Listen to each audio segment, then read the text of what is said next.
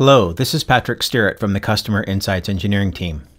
Today I'm going to walk you through how to install the Dynamics 365 Customer Insights customer card into your Dynamics 365 customer engagement application.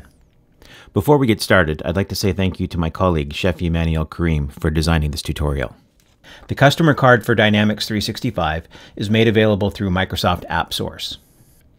To install the customer card, log into Microsoft AppSource with the admin credentials to your Dynamics 365 customer engagement application and search for Customer Insights. Once you find the application, click Get It Now to start the installation process.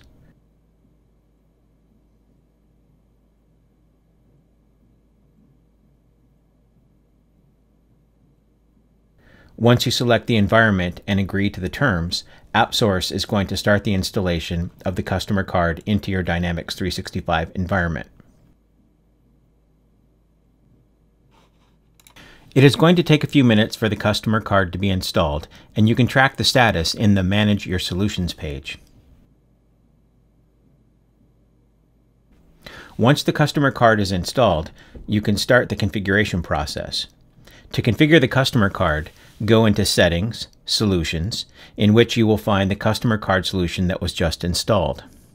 Now you will need to connect the Dynamics 365 Customer Engagement application with the Customer Insights environment.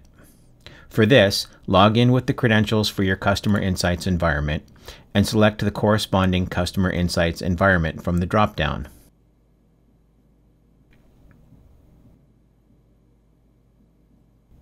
Now, from the list of attributes in the customer entity that is available in the above selected environment, pick the one that contains data for the Dynamics Contact ID, which will be used for lookups.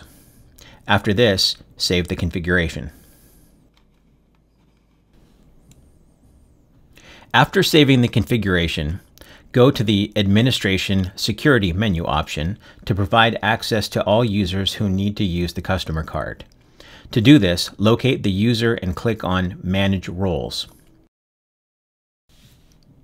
Based on what you want the user to do, you can either provide permission to view the card or customize the card. In this case, I have given the user permission to view and customize the card. Once this is complete, I can start customizing the form in which we want to show the customer card. Now click on Customize the System and find the entity called Contact.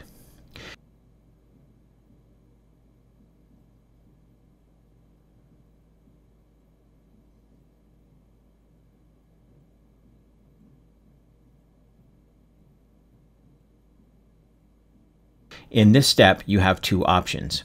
You can either customize an existing form or create a new form. For this tutorial, I'm going to create a new form. Click on New, Main Form. Once the form editor opens, I'm going to save this as a Customer Insights form.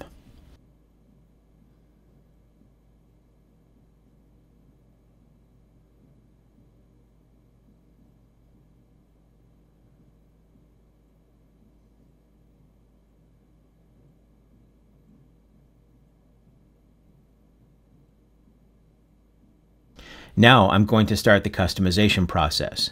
From the Field Explorer, place any one of the fields onto the form. In this case, I'm going to place the Address 1 City field.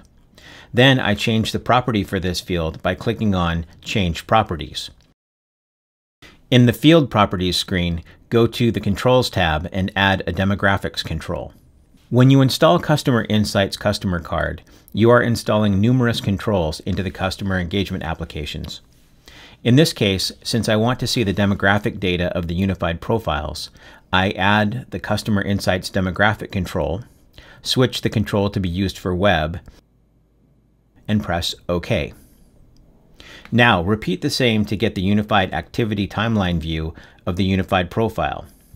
For this, I rename one of the existing sections to Customer Insights Timeline and add one of the fields from the Field Explorer.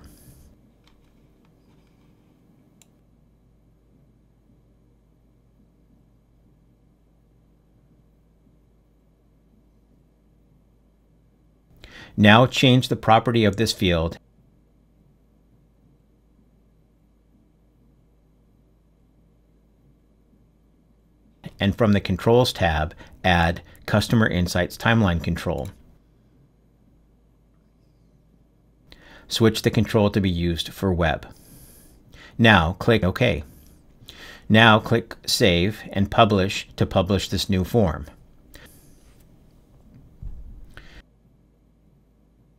Wait for the customizations to be published.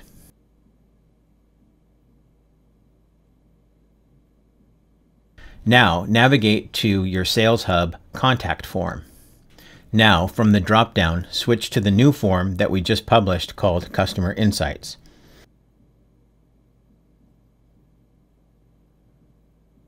Now you will be able to see the demographics and timeline controls starting to load the data from Customer Insights. Once the data is loaded, you can see the unified demographic and timeline data populated for the contact from Customer Insights. Since I appended the demographics control to the existing attributes from CRM, the data from Customer Insights is appended to the data from CRM.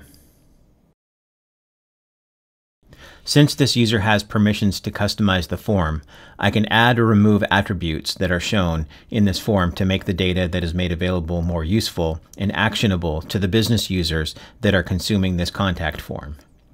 In a similar fashion, you can configure the measures or AI controls to start consuming these insights directly through your customer engagement applications. Okay, this is the end of this tutorial. We hope that you found this tutorial useful and hope you enjoy using Dynamics 365 Customer Insights.